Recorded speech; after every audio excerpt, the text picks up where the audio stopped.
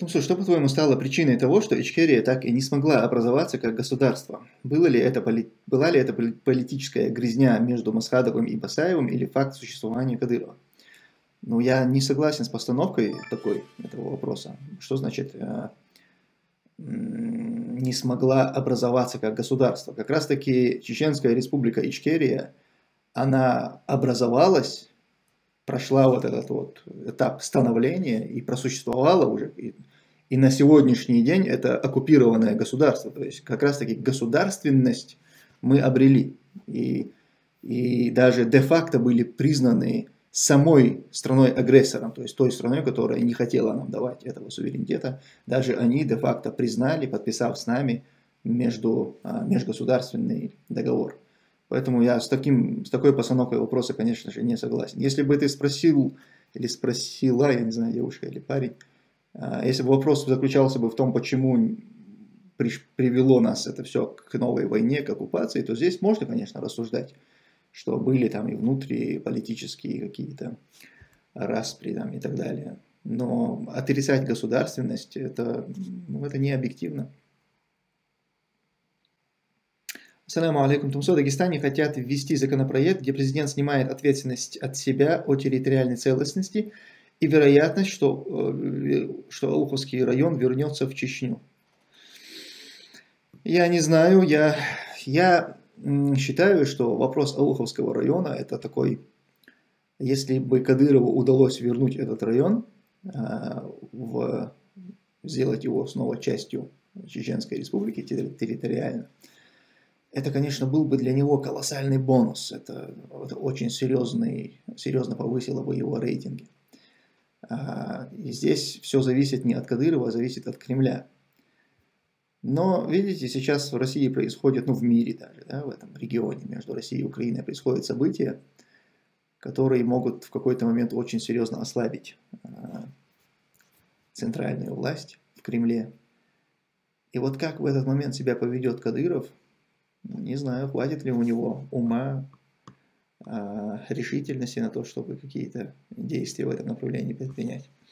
Но Кремлю сейчас, выгодно ли Кремлю вот это вот усиление Кадырова, а, поднятие его рейтинга среди чеченцев, это поднимет его рейтинг именно среди чеченцев, понимаете? Это потому что вопрос Ауха, он больной для всех чеченцев. Нас э, разделили, взяли один народ, нашу неотъемлемую часть ауховцев, от нас их их от нас отделили, сделали из них как будто бы отдельный народ, уже, знаете, такие вот а, пробросы типа а, чеченцы-акинцы, там, мемориал памяти а, депортированным чеченцам-акинцам. Нет никаких чеченцев-акинцев, чеченцев-шатойцев, чеченцев чеберлойцев. Нет, есть чеченцы. И все. Остальные все вот акинцы, там, шатойцы, и тумкалинцы. Это просто это внутреннее чеченское общество. Но все мы являемся одним народом, чеченцами.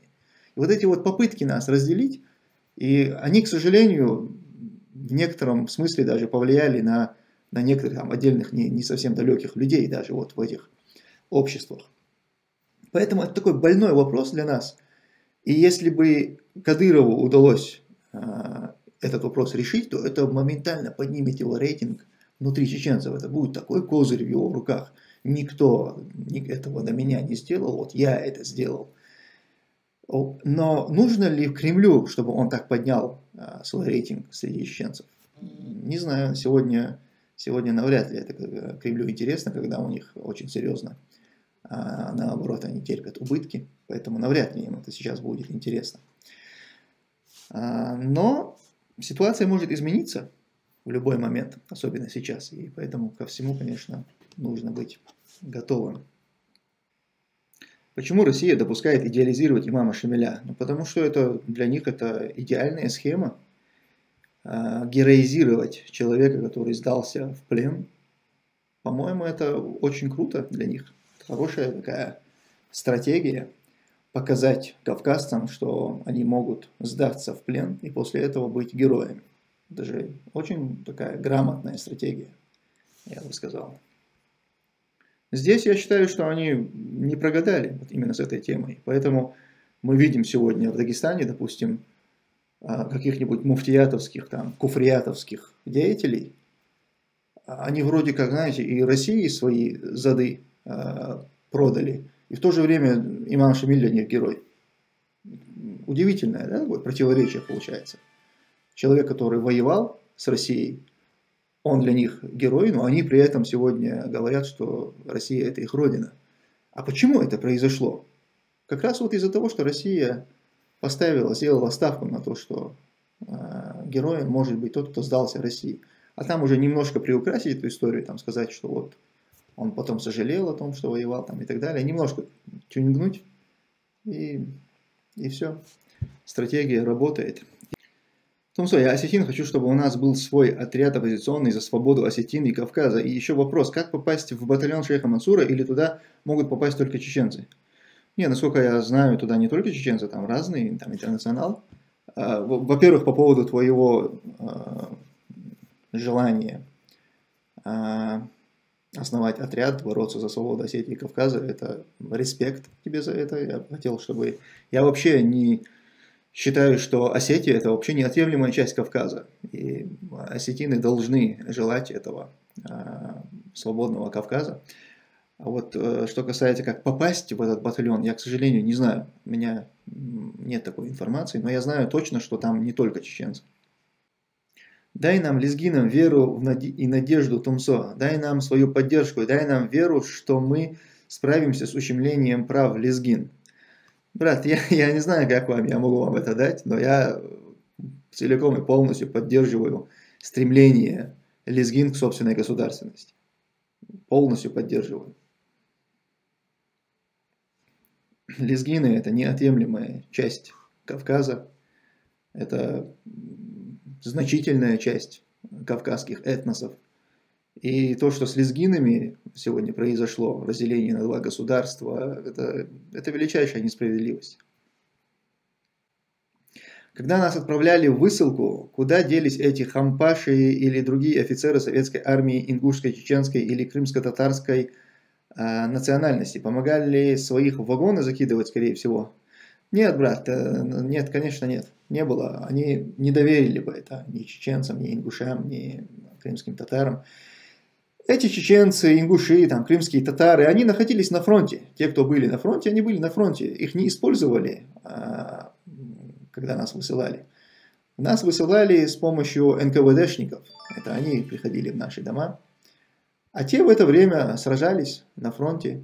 А когда война закончилась, их оттуда прямо с фронта э, отправили к своим семьям в Казахстан. То есть они не вернулись уже в Чечню. Ну куда им было возвращаться, в Чечню, Ингушетию, там, в Крым. Они поехали, их отправили туда же, где их семьи. То есть тоже подвергли репрессиям. А, я, кстати, хотел, не досказал по поводу ауха.